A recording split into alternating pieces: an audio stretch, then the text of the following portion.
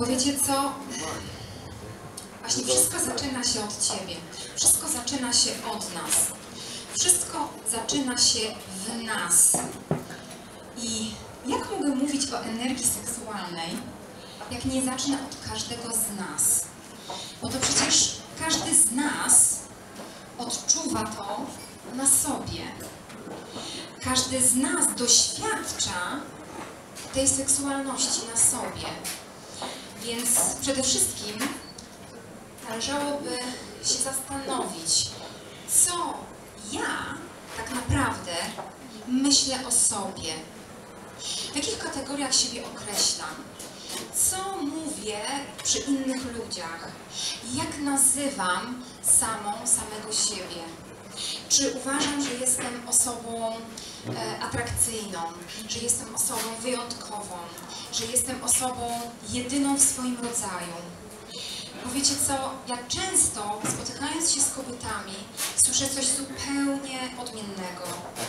My kobiety mamy coś takiego w sobie, że mówimy bardzo często, wiesz, ja, ja to jestem taka nie za bardzo. A, bo wiesz, mi się nigdy nic nie udaje, jestem beznadziejna, jestem brzydka, tak, jestem za gruba, jestem za chuda, jestem za wysoka, jestem za niska, tak? Jak myślisz o sobie? Jak mówisz o sobie? To wszystko zaczyna emanować i to wszystko widzą i czują inni ludzie. I wiecie co? Nieraz nie trzeba nic mówić. Wystarczy spojrzeć. Bo jeżeli my jesteśmy przepełnieni tymi myślami i tymi przekonaniami o sobie, to wszyscy inni ludzie to widzą. I dlaczego tak jest, że niektórzy nawet nie muszą mówić o sobie pozytywnych rzeczy, a ludzie postrzegają ich właśnie jako pozytywnych, jako wartościowych ludzi? Bo bije od nich ta pewność siebie. Chciałabym Was zachęcić do tego, abyście sobie przeanalizowali to, co w swojej własnej głowie myślicie na swój własny temat. To jest tak bardzo istotne, bo to jest cały trzon tego, jak całe nasze życie będzie się układało. A seksualne? To już tym bardziej. Jak mówimy o swoim ciele? I wiecie co? Już wspominałam, tak? My kobiety, bo mężczyźni, słuchajcie, nawet jeżeli mężczyzna ma duży brzuszek, no to, no to co? To ten mężczyzna czuje się dalej atrakcyjny, tak? A kobieta? Kobieta kupuje wyszczuplającą bieliznę, kryje się, chowa. Ona, ona po prostu robi wszystko, bo ona jest przekonana, że ona nie wpisuje się w ten ideał urody. Mężczyźni aż tak bardzo nie przysłuchują się temu, co mówią dookoła nas, tak? co narzucają nam inni ludzie. Wiecie co? Kiedy zaczniecie mieć kontakt ze swoim ciałem, kiedy zaczniecie kochać swoje własne ciało, zaczynają się dziać takie magiczne rzeczy. Chcecie to ciało pokazywać. Jak zaczynacie akceptować każdy centymetr waszego ciała, to to ciało zaczyna emanować taką niesamowitą pewnością, żyje się zupełnie inaczej. To tak, jakbyście byli w stanie zakochania się w samym sobie. Wiecie, właśnie ten stan, w który chciałam Was wprowadzić, to stan zakochania się w drugiej osobie, tak? Chciałam Wam przypomnieć, jak to jest, kiedy czujemy te motywy w brzuchu, kiedy ta osoba jest dla nas całym światem, tak nic nie jest ważne, tak w myślach mamy tylko tą osobę. Dlaczego nie robimy tego samą, samym sobą? Przecież to ze sobą jesteś 24 godziny na dobę i ze sobą na 100% będziesz aż do śmierci, tak? Więc przede wszystkim akceptacja siebie, akceptacja tego, jak ja wyglądam. To jest coś, na co w pewnym sensie mamy wpływ, ale rodzimy się z pewnymi charakterystycznymi cechami. I musimy to zaakceptować. Może nie musimy, ale powinniśmy chcieć to zaakceptować. Bo skoro urodziłam się taka, to natura chciała, żebym miała takie oczy, takie włosy, taki nos, takie usta. Tak? Mężczyźni też często marzą, że chcieliby mieć szersze ramiona, tak, że chcieliby e, iść kilka razy na siłownię i wyglądać tak, jak ci e, mężczyźni, którzy gdzieś tam trenują. Każdy z nas marzy o czymś, tak, ale może, może ktoś marzy o kimś takim jak ty. I nie musisz upodabniać się do kogoś innego. A w momencie, kiedy pokochasz każdy centymetr swojego ciała, to zobaczysz, że dookoła ciebie będzie coraz więcej ludzi, którzy będą zachwyceni Twoją unikatowością. Tym, że właśnie jesteś inna, że jesteś inny. Bo wiecie co, ja czasami sobie tak wyobrażam, jakby to było. Panowie, pytanie do Was. Gdybyśmy my, kobiety, miały włosy blond, długie do ramion, miały wszystkie niebieskie oczy, wszystkie miałybyśmy takie piękne, duże usta, tak? I gdybyśmy wszystkie miały takie same biusty, miałybyśmy taką samą figurę, takie same nogi, e, pośladki, tak? Jesteśmy takie sztampowe, tak? Czy to by było dobre? Panowie, jeżeli się z tym zgadzacie, ręka do góry. To nie podnosicie ręki. Słuchajcie, nudno by było. Nieraz się przyłapywałam na tym, że byłam z koleżanką na, na dyskotece i mówi, ty, zobacz, jaki przystojny facet. A ona, co? On się w ogóle nie podoba, ale spójrz na jego kolegę. Ja mówię, co? Przecież ten kolega jest w ogóle... Mi się on nie podoba. To wszystko jest kwestia preferencji. Jest ktoś, w kogo wy w preferencjach się znajdziecie. To trzeba sobie zapamiętać. My nie musimy siebie zmieniać. My musimy siebie zaakceptować, pokochać, a znajdzie się ktoś, kto się w tym zakocha, tak jak my. Słuchajcie, narządy.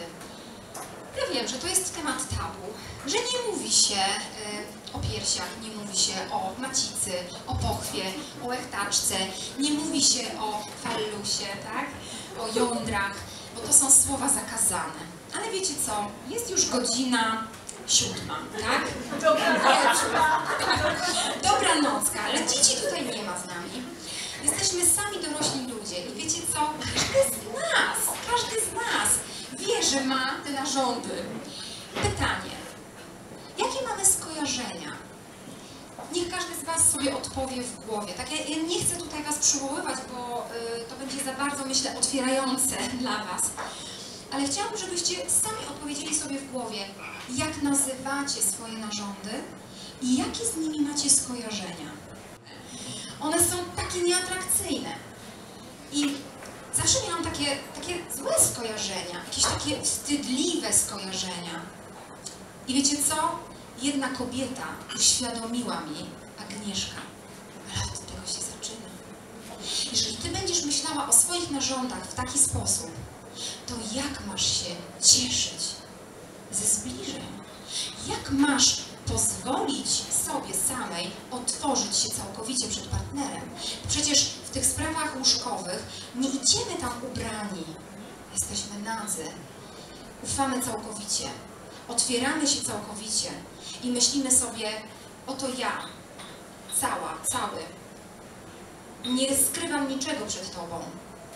I teraz, jeżeli ja idę z tą całym bagażem kompleksów i złych skojarzeń, bo moje piersi są takie, siakie i owakie, bo w ogóle te wszystkie narządy są takie nieapetyczne, no to jak to ma być piękny akt seksualny?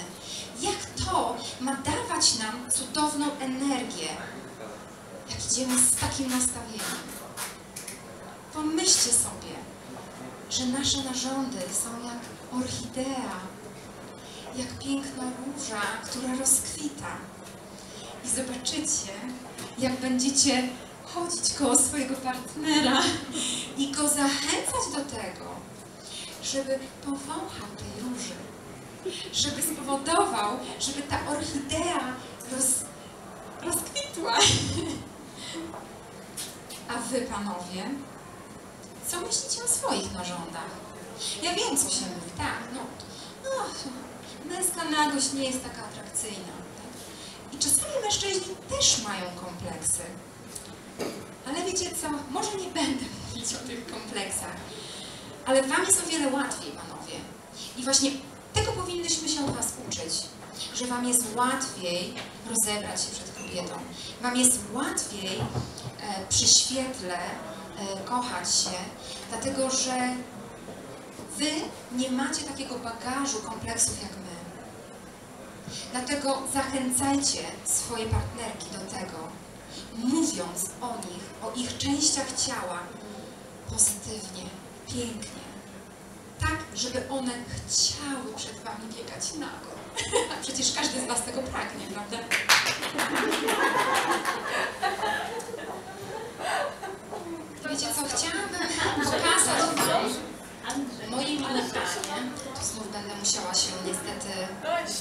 z prezentacji.